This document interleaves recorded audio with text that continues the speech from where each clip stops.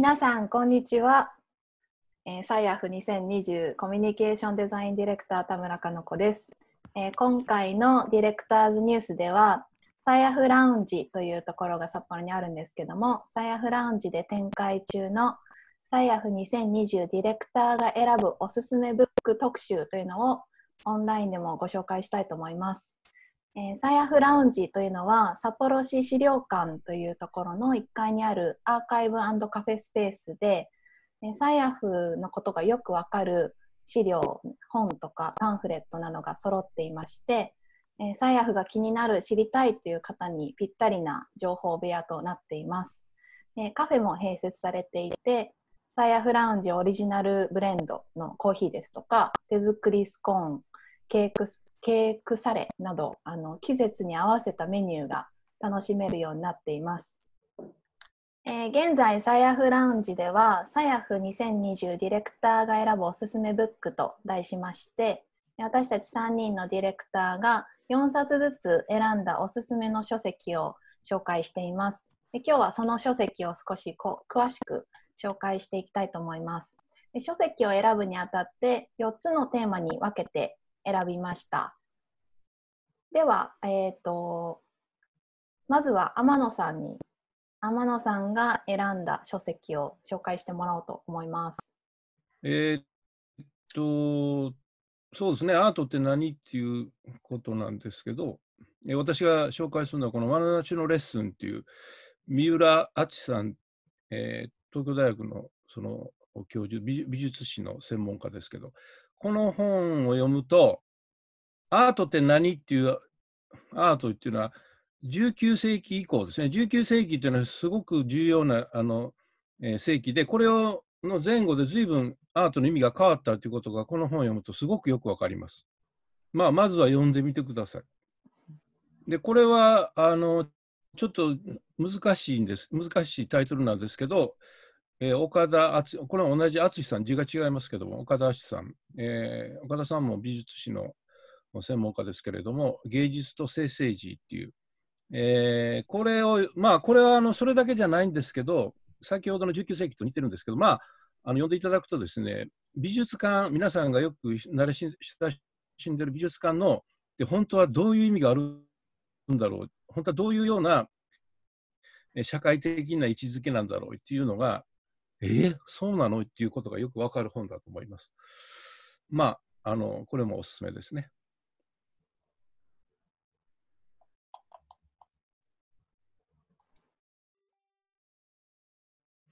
で、あの、美術もそうですけど、私たちの日常生活、今の日常生活というのは、なんとなく当たり前のように資本主義って言ってるんですけど、これがそもそもどういうふうにして生まれたかっていう、でこれはあのあのヨーロッパのキリスト教とかいろんな宗教も含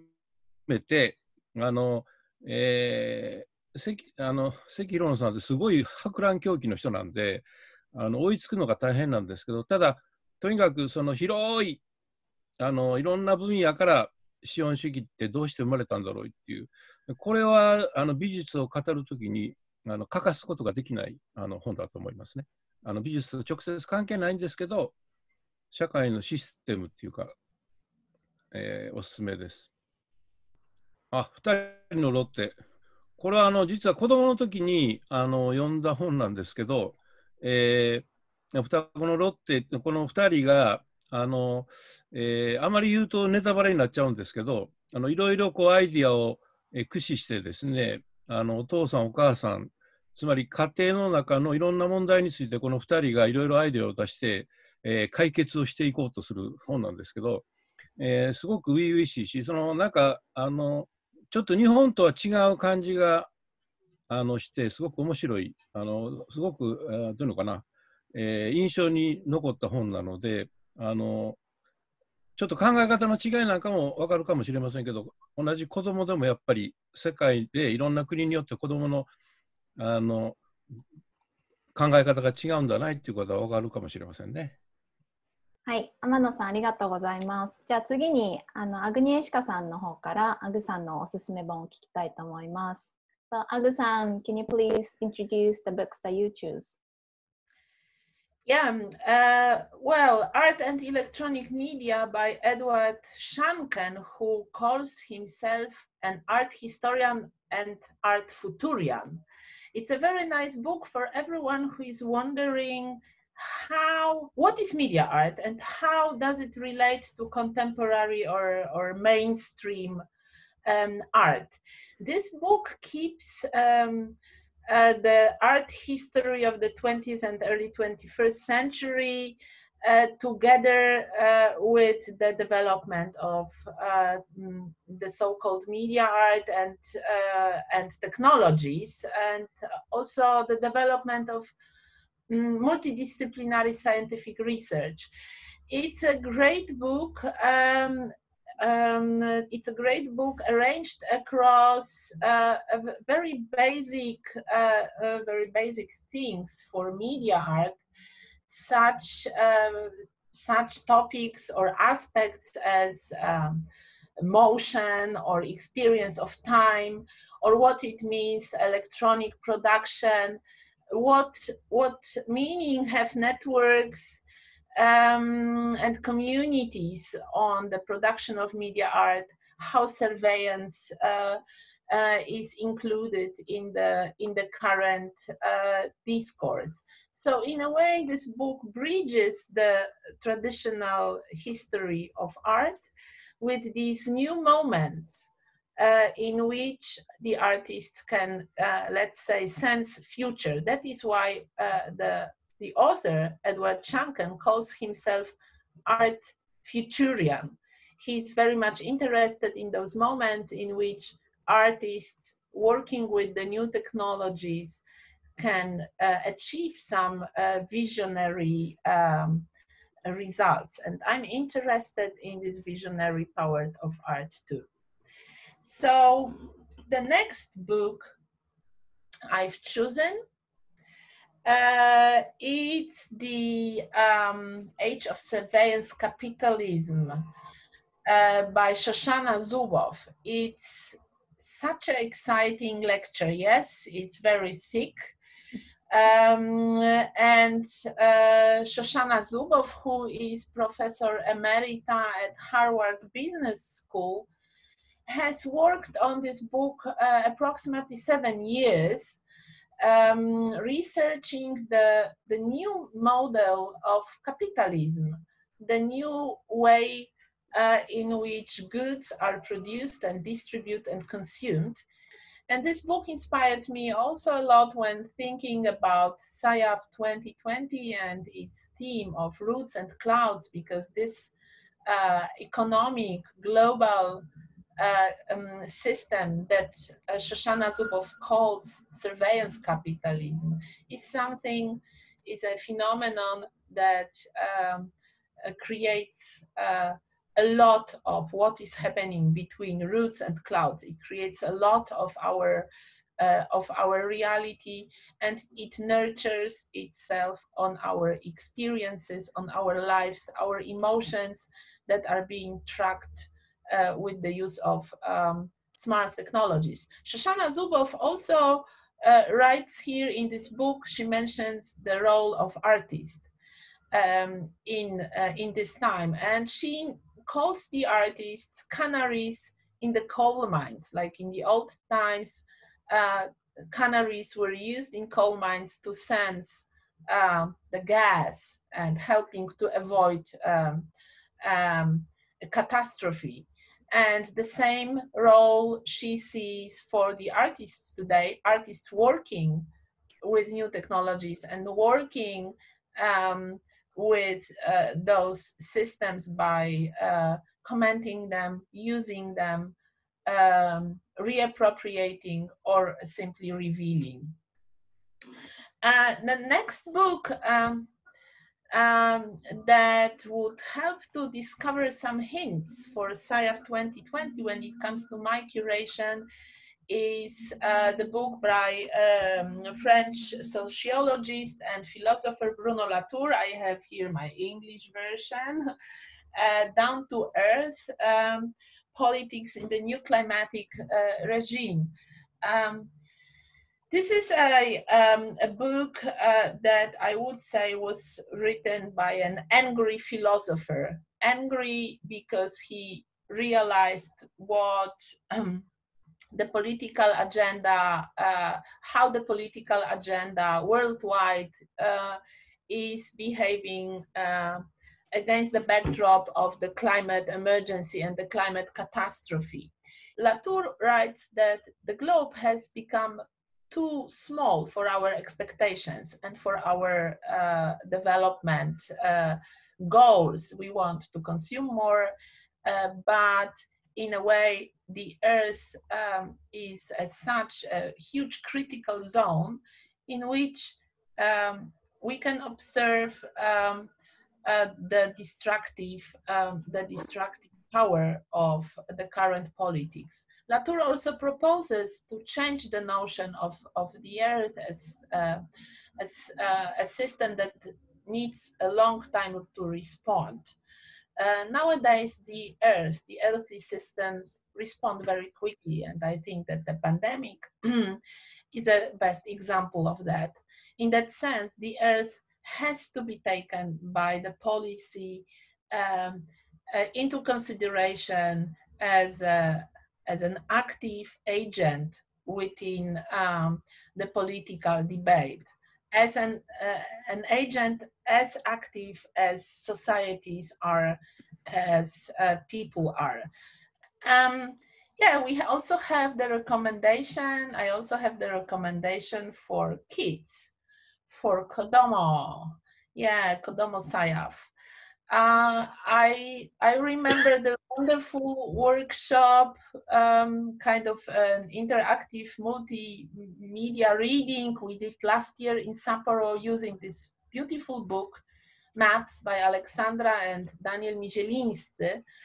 Uh, it's a very successful book by Polish authors showing the entire world in its uh, whole um, multitude. This is a great book uh, to um, uh, um, for your kid to start to be very curious about the world and to um, to admire the richness of the world and also to see how similar we are uh, we people of all colors all nations uh, it it really shows this I would say this kind of um, terrestrial approach as proposed by Latour uh, to to to the Earth. So uh, yeah, this is Hokkaido and Sapporo. So I think it's a great adventure for every kid um, to start uh, receiving the world uh, in uh, its uh, beautiful, uh, exciting richness. はい、では私から、えー、私の選んだ本を紹介したいと思います。で、えー、私は、まあ、天野さんとアグさんがあのアートの勉強にとても役立つ本を選んでくれたのでもう少し違う視点から、えー、本を選んでみました。私の担当のコミュニケーションデザインということを考えるときにまあ、コミュニケーションとか言葉のことを通して、えー、世界のいろんなことを考えるっていう視点で選んでみたんですけどまず最初の本はオン・ユージュさんの台湾生まれ日本語育ちという本で、まあ、アートって何っていうことを考えるっていうことは、まあ、私はどこから来たのかとか何者なのかっていうことを問うことにつながると思うんですけど、まあ、その私は誰という問いにすごくしなやかにかつしぶとく向き合い続けている私の友人でもあるオンさんが書いた本です。で日本にあの、まあ、住んでいると今こう外国人に税金を使うなとかあの人は日本人じゃないとかそういう話がよく聞こえてくるんですけど、まあ、このオンさんの言葉を読んでいると、まあ、そういった国とか何々人だっていうことでこう境界線を引こうとするっていうことがあまりそんな単純な問題じゃないなもっと大きな視野で大きな心であたりを見回してみようっていう気持ちにさせてくれます。そんなあのオンさんの経験に根ざしたすごい希望と怒りに満ちてる本なのでおすすめです、はい、次なんですけれども、えーまあ、ディレクターはどんな人たちということで私があの、まあ、すごく敬愛するとして非常に影響を受けた、えーまあ、の大学で学んでいた小畑和恵先生が翻訳をしたスーザン・ソンタグの本を紹介したいと思いました。でこれはスーザン・ソンタグからあらゆる読者へ、まあ、今日を生きるここで生きようとするっていう時にあのどういうふうに向き合えばいいかというあの応援の言葉であふれた本だと思うんですけど最初があの若い読者へのアドバイスっていうところから始まるんですがそれが例えば検閲を警戒しなさいとか言語のスラム街に沈み込まないようにすること想像力を働かせること注意を傾け続けることなどそういうアドバイスが広がっていて、まあ、今まさに社会で起こっていることに対して毎日でも呼びたい言葉だなと思います。若い読者だけじゃなくあの私たち誰にでも当てはまるような言葉だなと思っています。3冊目は、えー、最悪を読み解くっていう時に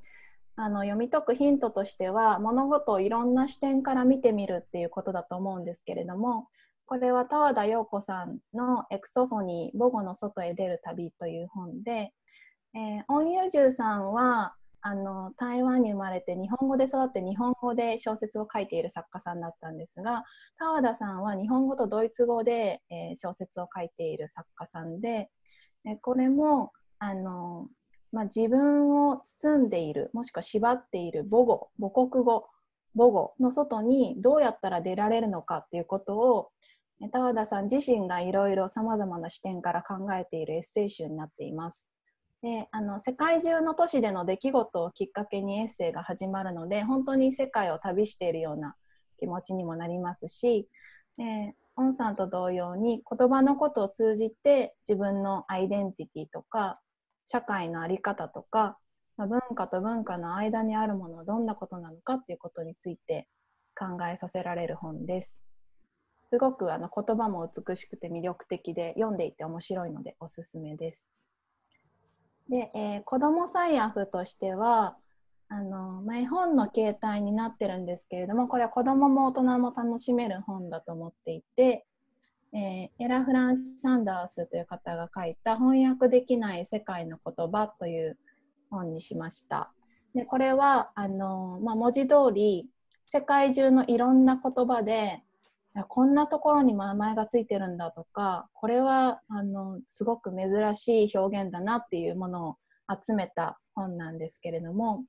なんかその言葉っていうのすごい不自由だなとか窮屈だなって感じた時にこれを見てるとすごくロマンチックな表現とかあ今開いてもらってるところ私のすごい好きな言葉なんですけどその後でな後になって浮かんでくるああ言えばよかったみたいなあのこう一日の終わりとかに浮かんでくる言葉の返し方に名前がついているっていうことを紹介してたりとかあと日本語の言葉も紹介されていて、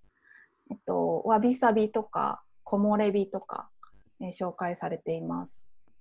ぜひゆっくり見てみてください。はい、ありがとうございます。ちょっと真面目な本ばっかり選びすぎちゃった。ぜひ皆さんにも読んでいただきたいと思います。で、あのサヤフランジにはあの私たちが今紹介した本を、えー、取り揃えてご覧いただけるようにしているので、まあ、札幌の方で、えー、サヤフランジ資料館の方にいらっしゃる機会があるときにはぜひ立ち寄ってみてください。で、えっ、ー、と、まあ、あの、今、感染でなかなか感染が広がる中でなかなかラウンジに立ち寄れない方も多いと思うので、今回はオンラインでも私たちのおすすめ本を紹介してみました。はい、では、また、あの、次回のディレクターズニュースでまたいろいろなことを発信していければと思います。またねはい 次は次はもう少し面白くやりますので、はい。バイバイ。じゃあ、どうも。